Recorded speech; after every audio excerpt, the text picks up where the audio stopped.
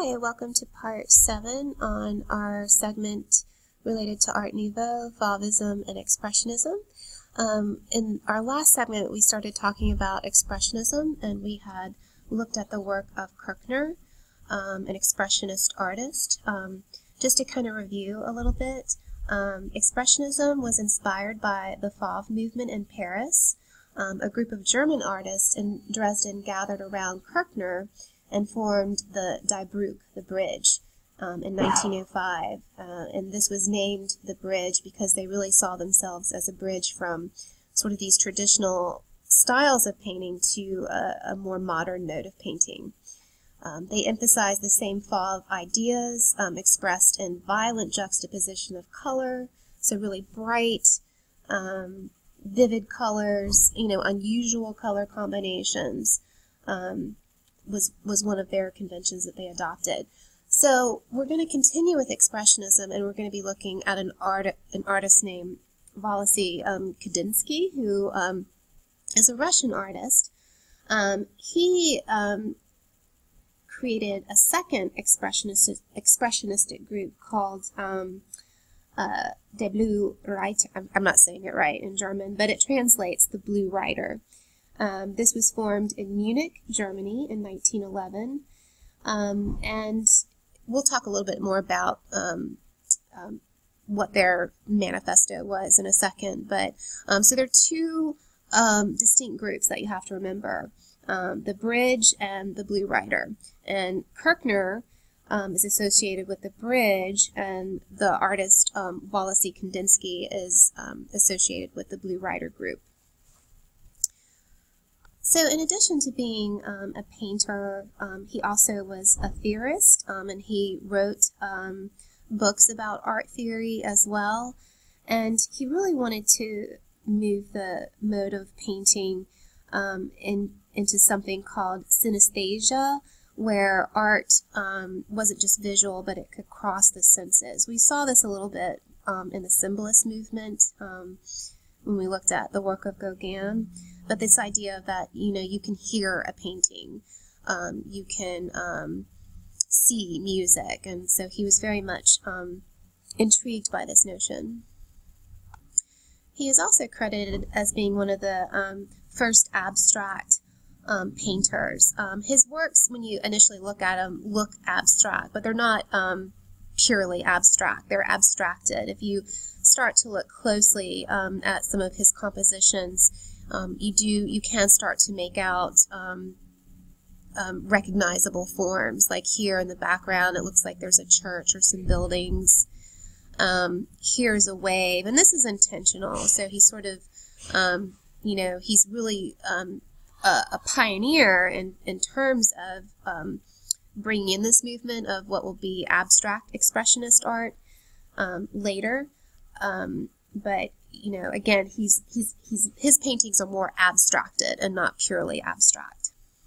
So I want you guys to take a moment and really study the painting. Um, maybe look um, and see if you can see any sort of recognizable forms. And we'll, we'll go back and talk about this later. To understand the work of Kandinsky, we're going to look at some of his earlier work. Um, and we're going to look at um, probably one of his most important paintings from the first decade of the 1900s. Um, and this is called um, The Blue Rider. It was done in 1903. It shows a small cloaked figure on a speeding horse rushing through a rocky meadow. Um, the rider's cloak is a medium blue, which casts a darker blue shadow. In the foreground are more sort of um, amorphous blue shadows. Um, they're sort of ambiguous um, the counterparts of um, the fall trees in the background, um, and the the blue rider in the painting is is prominent, but he's not clearly defined. And, and so I think when you look at this image and you look at the brushwork, he definitely was looking at impressionism um, painters, and I think was inspired um, by that movement. Um, and so this is his early work. Um, and it really does um, take quite a leap um, as he be, as he becomes more of a um, mature um, artist. And I wanted to show you this painting too because he he seemed to have this affinity um, for horses and this idea of the horse rider. We'll see it in his later, more abstracted works. In addition, he he was very much interested in biblical imagery, um, as as well as um, um, the the horsemen uh, of the apocalypse as well. And so when we look at this um, early painting by Kandinsky, um, you know, this sort of um, loose brushwork and the, sort of, um, you know, we see the rider being more suggested through color, um, we do start to see um, how, you know, what direction Kandinsky is, was going to take in the next few years in terms of color and, and really breaking down his composition into basic um, forms and, and you know really talking about formal composition, line, shape, color, and those really being the focus and actually the subject matter, as opposed to something like you know a person riding a horse or a landscape. Um, what you're looking at is a cover um, that um, um, Kandinsky created for um, the, the, the Blue Rider Almanac. Um, again, Kandinsky and several other artists um, formed this group in response to the rejection of Kandinsky's painting Last Judgment from an exhibition. And so again, we sort of see this idea of, um, like many artistic movements we've observed, um, you know, this reaction against these sort of academic and traditional um, art standards and, and trying to um, go against the traditional. And so um, this is the painting, The Last Judgment, that had been rejected. I just wanted to give you a glimpse of it. So the Blue Rider did not have a direct manifesto um, within the group. There were various artistic approaches and aims that varied from artist to artist. Um, however, the artists shared a common desire to express spiritual truth um, through their art. They believed in the promotion of modern art, the connection between visual art and music in particular, the spiritual and symbolic associations of color, and spontaneous intuitive um, approaches to painting. Uh, members were also interested in European medieval art and um, primi- primitivism. Um, we, we talked about that um, word um, when we looked at the work of Anne um, of Kirchner, and this was sort of people sort of looking at art of non-Western cultures as primitive and simple and and more natural, and sort of trying to incorporate some of those conventions into their work. And um, you know, and and the subject matter varied as well. Um, what we'll see happening too as a result, uh, other movements um, start to um, emerge as well, and some artists encounter um, other really famous movements that we'll be talking about. Cubist um, is something we haven't talked about yet with Picasso. Um, we did talk about the the Fauvist movement, and so um, so there's lots of interaction and this exchange of ideas. Um, the Blue Rider organized exhibitions in 1911 and 1912 that toured Germany. They also published an almanac um, featuring a contemporary, primitive, and featuring contemporary, primitive, um, and folk art, along with children's paintings. The group was disrupted um, by the outbreak of the First World War in 1914. Some of the artists, um, you know, had to fight in the war, were killed in combat. Um, Franz Marc um, is a famous artist, and he was killed during World War One. And um, um, Kandinsky was actually forced to move back to Russia because of their Russian citizenship. Um, there was also difference in opinions within the group, and as a result, the Blue Rider was short lived, only lasting three years from 1911 to 1914, and then eventually was disbanded. So when we look at um, the work of Kandinsky um, from his later period, we really see that he was interested in um, very um, expressive colored masses. Um, and really an emphasis on shape and line uh, as being the subject matter. Music was also very important um, to the birth of this sort of abstracted style of art. um, since music is abstract by nature. It does not try to represent the exterior world, um, but express it in an immediate way um, that inner, you know, the sort of inner feelings of the soul. And that's what really Kandinsky was interested in. And if you can look at the title, Improvisation 27, um, we see that Kandinsky sometimes used musical terms to identify his works.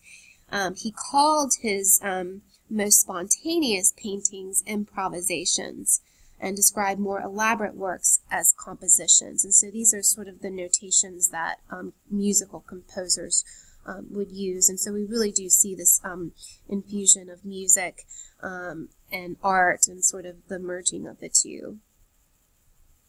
Here are some quotes um, from Kandinsky. And again, he, he wrote, in addition to making art, he wrote a, a lot about art um, and art theory. Um, he, he really wanted art to be spiritual. Um, and so this is a quote about color. Um, and so this is in a, in a book he wrote concerning the spiritual and art that um, he did in 1911. Color directly influences the soul. Color is the keyboard, the eyes are the hammers, the soul is the piano with so many strings. The artist is the hand that plays, touching one key or another purposefully to cause vibrations in the soul. And that's really what he wanted art to do. He wanted people to have that sensation as well. Um, here is some more insight into this idea of the titles and improvisation. Um, and it's the practice of acting, singing, talking, and reacting or making and creating in the moment and in response to the stimulus of one's immediate environment and inner feelings. This can result in the invention of new thought patterns, new practices, new structures or symbols, and or new ways to act. This invention cycle occurs most effectively when the practitioner has a thorough, intuitive, and technical understanding of the necessary skills and concerns within the improvised domain. Improvisation can be thought of as an on the spot or on the cuff spontaneous activity. So we're going to look at um, some more of Kandinsky's paintings. Historians have observed how Kandinsky's thematic concerns shifted from portrayals of na natural events to these very apocalyptic narratives. Um, and so apocalyptic means sort of the end of the world.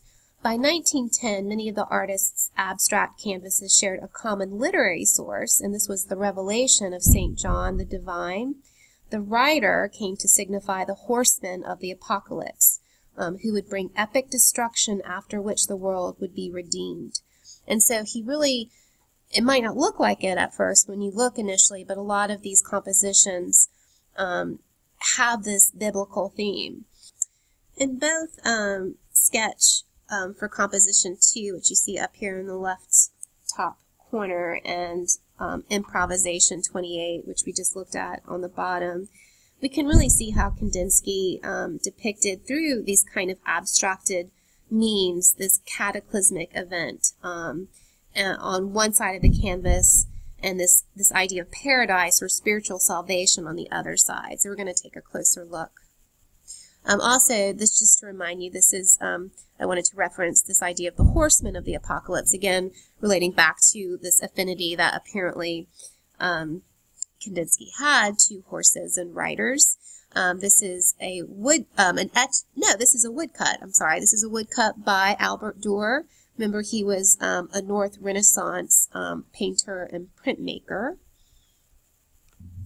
So I asked you earlier to really take a good look and see if you could, um, you know, make out some recognizable um, elements um, in um, Kandinsky's composition. Again, this isn't, it's not purely abstracted. There are still some sort of recognizable forms, and I'm going to have to use my magnifying glass. So, in, in the top right hand corner right here, um, if you look closely, it really does look like a mountain, perhaps with um, a, a, a buildings, maybe a church. Um, some historians think that that this might be, um, you know, Jerusalem, the city of Jerusalem, and this sort of allusion to paradise. And if we kind of look further down, I don't know if you can make this out, but to me, and I, and other historians have pointed this out, this looks like a couple um, kissing or embracing. Again, these sort of allusions to um, paradise and um, serenity. And let me see if we can um, look at some other elements of the painting. In the lower left-hand corner, this is supposed to um, be a wave, okay? Um, and this is supposed to symbolize the great wave. Um, and, and this is symbolizing this idea of a flood myth or a deluge myth, um, which is a narrative in which a great flood, usually sent by a deity or deities, destroys civilization and, and, and then often in an act of divine retribution. And so I think you can really sort of see this idea of these waves. And it really does fit in with Kandinsky's idea of um, this, you know, that these biblical ideas of, of sort of retribution and redemption, in particular with the with the reference of the horse of the apocalypse. Um, here, some historians have pointed out these waves, some in these patches of blues. Um, these sort of diagonal lines have been interpreted as cannon. So you have um, this, you know, this is the side where you see destruction um, and corruption happening. And then on the other side, you have this idea of paradise. And so by looking at one of Kandinsky's paintings, it really shows us this idea of how we, we need to slow down when we look at art. You know, as a society, we're trained to kind of especially when we go visit a museum to kind of look at something for a few seconds and move on. And and art really isn't about that. It, it really is meant to sort of be con you know to contemplate, to be thoughtful, to take your time looking. And I think the more you are patient and look at this painting, you really can start to make out um, these very expressive, slight, you know, very abstracted um, um, subjects and sort of recognizable um, elements of the real world. Um, so the use of the horse and rider motif um, symbolized um, Kandinsky's crusade against the conventional aesthetic value and his dream of a better, more spiritual future through the transformative powers of art. So again, like this sort of retribution of a wave, sort of um, you know, destroying everything, this idea of destroying these older, you know, academic traditions, and then, you know, paving the, the slate clean for a new start and this idea of redemption. The horseman in particular um, is a symbol of the apocalypse, but also redemption for a new start. And we see how um, Kandinsky has um, explored that. We see it here um, in this variation of the horse. We saw it in his earlier work, and so it, it really does have a powerful presence and is a very um, important motif in his work. So, um, I do want to briefly um, get back to this notion of music because um, it is very, it, is a very important element in his work, and I forgot to mention some things. But again, I mentioned this idea of synesthesia and this idea of the crossing of the senses. And so, um, you know, when we look at the title of this painting, it, it really is more unusual than some of the others that we've seen again, he's really associating this idea of music because improvisation, composition, these are notations that composers might use. And so, why would Kandinsky do that? And so, he really is trying to compare painting to music. Um, and and again, it, it relates to this idea of synthesis or this crossing of senses, where you can hear a painting or see music. And Kandinsky was very influenced by a composer named Arnold um. And um, he was doing something where he was sort of jettisoning familiar Western harmonies to create a more difficult style of music. And he referred to this musical style as atonal. And so that's what Kandinsky appears to be doing in a lot of his um, abstract work, that he's, he's trying to sort of ask the question, what would a painting sound like? Um, and um, and then you know that he's he's he's making these atonal paintings. So it's it's something very different and it's just a different way of thinking and really looking about art. Um, and this really does pave the way um, for um, later 20th century art movements. So um, that's the end of our video on Art Nouveau, Fauvism, and Expressionism. And as usual, please try to look at the Khan Academy videos. There is one on Improvisation 28 that is very good and, and worth watching. And um, so stay tuned. Um, we'll be moving further into the 20th century.